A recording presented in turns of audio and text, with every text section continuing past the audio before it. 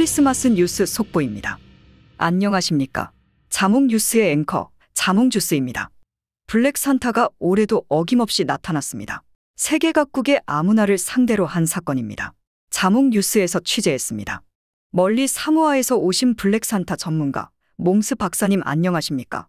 안녕하십니까. 사모아에서 온 몽스 박사입니다. 에, 저는 이 사건을 매년 조사하고 있습니다.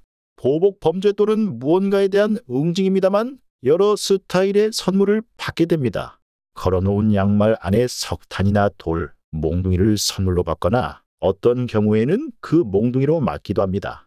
더 나아가서는 걸어놓은 자루에 넣어줘서 납치되기도 합니다. 너무 잔인하고 역겨운 사건이죠. 많은 사람들이 크리스마스 이브를 무서워하는 블랙 산타크로스 이브 신드롬이 생겼을 정도니까요. 그러면 이번에는 각국에서 블랙 산타의 선물을 받은 사람들의 이야기를 들어보시겠습니다. 저는 플로리다에 사는 실종된 친구 때문에 제보한 건데요.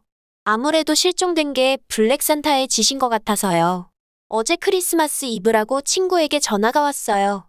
마침 일요일이고 해서 스카이다이빙 하러 갔다 왔다고 하더라고요. 원래 이 친구 전화 안 받으려고 했거든요. 사실은 며칠 전에 그러니까 목요일 밤 8시인가쯤에 전화가 왔더라고요. 그런데 통화 중에 친구가 방귀를 끼는 거예요. 세상에 매너 없이요. 그래서 연락 안 하려고 했는데 그 친구를 맘에 들어하는 선배가 있길래 소개시켜주려고 연락했거든요. 그런데 실종되었다고 하는 거예요. 크리스마스 이브예요. 그게 블랙 산타의 짓 아닐까요? 난 스위스에 살아요. 백수라 집에만 있는데 왜 나에게 블랙 산타가 선물을 보냈을까요? 키우는 기니피그 두 마리 중 한 마리가 죽어서 묻어주고 기도도 해주고 혼자 남은 녀석과 매일 잘 놀아주고 이렇게 착하게 사는 나에게 왜요? 나도 스위스에 사는 여자예요. 크리스마스 기념으로 어제 친구들과 밤 늦게까지 마시고 집에 와서 잠이 들었는데 속이 안 좋아서 새벽에 다 토했네요. 변기 청소 좀 해야겠어요. 그런데 왜 나에게 블랙 산타가? 아, 지금 블랙 산타에 대해 조사하라는 시위가 전 세계적으로 시작되었다고 합니다. 현장에 자몽 운장 리포터 나와주세요. 네, 여기는 데모 현장입니다. 블랙 산타에게 선물을 받은 많은 사람들이 정부에게 밝히라고 시위를 하고 있습니다. 그러면 정부의 입장은 어떻습니까? 정부에서 내놓은 영상이 있기는 합니다만 한 대 쥐어받고 싶은 영상입니다. 그래도 일단 보시죠. 바빠요, 바빠. 그리는 못합니다. 안 돼요, 안 돼, 그리는 못합니다. 이 몸 홀로 어이합니까? 몽스 박사님, 어떻게 보십니까? 난리 난리 개난리네요. 바쁘다는 무표정한 정보 인상적이면서 내 스타일이에요. 이렇게 심각한 상황이네요. 시청자 여러분 감이 오시나요? 아직 안 오실 겁니다. 계속해서 인터뷰 영상 보시겠습니다. 난 호주에 사는 농부입니다. 선물 온 거는 무서워서 쓰레기통에 버렸어요. 난 죄 지은 게 없어요. 그런데 왜 나에게 블랙 산타가 선물을 보냈을까요? 하루에 50kg 이상의 감자를 혼자 나르느라 피곤한데 무서워서 잠도 못 자겠어요.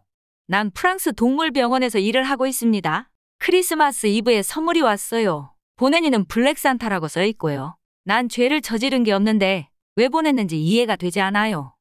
요 아이 예쁘지 않아요? 내가 키우는 돼지예요. 나폴레옹, 이리 와. 훌륭한 돼지가 되라고 이름을 나폴레옹이라 지었어요. 참 이상한 일입니다. 다 평범한 분들이시고 문제가 없는 것 같은데요. 왜 블랙 산타에게 선물을 받은 것일까요? 아, 시청자 여러분. 지금 한편에서는 블랙 산타를 추종하는 사람들이 모여 축제를 하고 있다는 뉴스가 들어왔습니다. 현장을 같이 보시죠. 대단합니다. Nice. 다시 선물 받은 분들의 이야기 계속 들어보겠습니다. 보시는 동안 시청자 여러분께서 도대체 왜 그런지를 유추해 보시길 바랍니다. 밀라노 거리가 한산해요. 요즘 가뜩이나 장사가 안 돼서 우울하고 웃을 일도 없는데 블랙산타라뇨. 기분 더 나빠지네요. 그나저나 외출해야 하는데 귀찮으니 옷은 아무거나 대충 입고 가야죠. 거리에 저렇게 방실방실 웃는 사람들은 뭐죠? 뭐가 좋아서? 저는 애리조나로 여행 갔다 어제 왔는데 그곳에 너무 예쁜 선인장이 있어서 잘라 왔지요. 집에 가져다 놓으니 너무 예쁜 거 있죠. 그걸로 기분 좋았다가 블랙 산타 선물 받고 우울해졌어요. 블랙 산타 짜증나. 난 싱가포르에 사는 구청 공무원이에요. 나는 나쁜 짓을 한 적이 없어요. 정말 착하게 살아왔거든요. 화장실에서 잊어버리고 물 안 내리는 거 빼고는 실수도 안 하는 성격이에요. 어처구니가 없네요. 블랙 산타 씨, 일 똑바로 하시길 바래요. 오늘 너무 바빠서 정신없었어요. 우표 붙일 게 산더미였어요. 어쨌든 우표를 제대로도 붙이고 거꾸로도 붙이고 오늘 붙일 우편 들고 우체국 갔다 왔는데 블랙 산타로부터 선물이 왔더라고요. 기가 막혀서 말도 안 나오네요. 전 영국 살아요. 저도 영국 사는데요. 취미인 낚시를 하러 갔다가 우연하게 고래를 잡았지 뭐예요. 비싸게 팔고 와서 기분 좋았는데 블랙 산타로부터의 선물 때문에 심장이 벌렁거리네요. 아니, 이런 평범한 사람들에게 블랙 산타는 왜 그럴까요? 그러게 말입니다. 몇 년째 조사하고 있지만 알 수가 없습니다. 몽스 박사님도 모른다고 하시니 저까지 불안해지네요. 자몽주스 아나운서님 택배 왔어요. 아니, 저에게 블랙 산타가 선물을 안타깝네요. 몽스 박사님 거도 있는데요. 어이쿠? 설마요? 제가 올해 잘못한 거라고는 아내 생일을 잊은 것 뿐인데요. 잘못 온 것 같아요. 저도 역시 마찬가지입니다. 자몽주스 아나운서의 이름을 걸고 착하게 살았습니다. 제가 뭐가 문제인가요? 어제까지 하와이에서 휴가를 보내다 오늘 오전 출근했는데 거기에서도 별일 없었고요. 하와이의 야경에 반해서 음치인 제가 크게 노래까지 불렀어요. 이렇게 행복투성이고 잘못한 일 없는 제가 왜 받아야 합니까? 블랙 산타 씨, 듣고 계시면 방송국으로 전화 좀 주시죠. 네, 블랙 산타 씨가 연락을 주셨습니다. 바로 연결하겠습니다. 블랙 산타 씨, 맞으신가요? 오라이 오라이. 아이고 12월이라 눈코 뜰 새 없구만. 블랙 산타 때문에 연락 달라고 하셨다고요? 블랙 산타는 요즘 나보다 더 바빠서 못 나와요. 세상이 예전 같지 않아서 나쁜 사람이 더 늘어가거든요. 가만히 있어보자. 블랙 산타 모르시는 분도 있는 것 같은데요. 블랙 산타는 나와 같이 일하는 조수이자 친구예요. 독일 이름으로는 루프레히트라고 하죠. 나는 화이트 산타로 착한 사람에게 선물을 주고 블랙 산타는 나쁜 짓을 한 사람에게 석탄이나 회초리 등을 주거나 데려다가 혼내줍니다.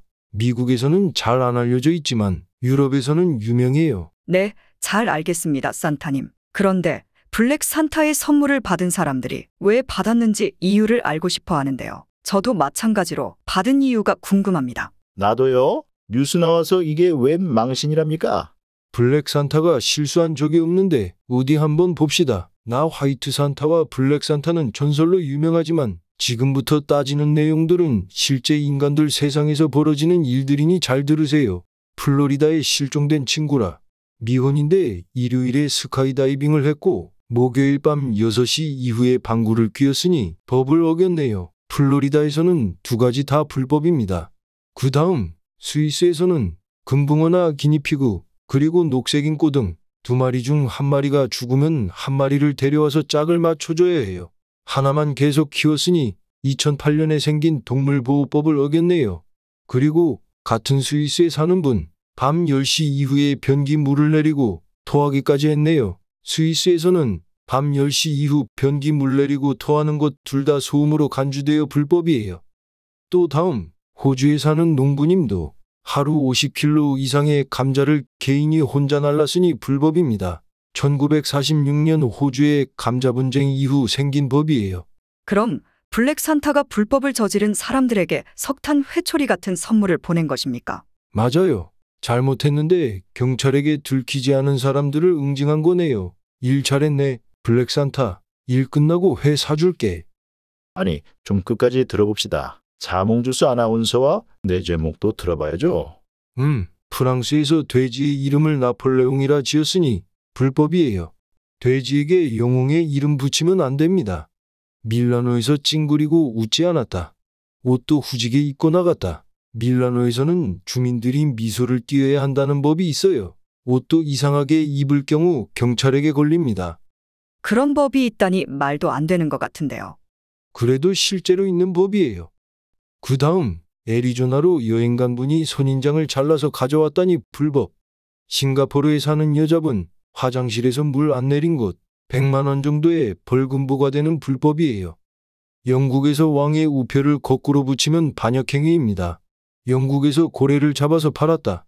영국 템즈강과 그 주변에 사는 백조와 흑조의 소유자가 없는 것들과 영국 연안의 돌고래, 상어, 고래는 다 영국 여왕이 소유권을 가집니다. 그러니 잘못하셨네요. 아 그리고 이것도 알아두세요. 영국의 공공장소에서 소변을 보고 싶은 남자는 차의 뒷바퀴를 조준하고 우측 손으로 차를 만지고 있어야 소변이 허용됩니다. 꼭 차에 우측 손을 대고 뒷바퀴에 조준자라고 싸세요. 그러면 자몽주스 아나운서와 나는 뭘 잘못했습니까? 음. 자몽주스 아나운서님은 하와이에서 밤늦게 노래를 크게 불렀으니 불법. 몽스 박사님은 사모아에 사시면서 아내의 생일을 잊어버렸으니 불법입니다. 그렇군요. 이 자몽스 채널 뉴스를 보시는 여러분, 앞으로 각국의 여행 시 그곳의 법을 좀 알고 가셔야겠습니다. 아무리 이상한 법이라도 100만 원 벌금 내는 건 싫으니까요. 나와주신 몽스 박사님, 내년부터는 아내의 생일 잊지 마시고요. 아니요. 사모아를 떠나 내년에 다른 데로 이사 갈 거예요. 아내의 생일을 매년 어떻게 기억한답니까? 뭐 그러시던지요. 시청해주신 여러분 감사합니다. 자몽스 채널의 자몽주스였습니다.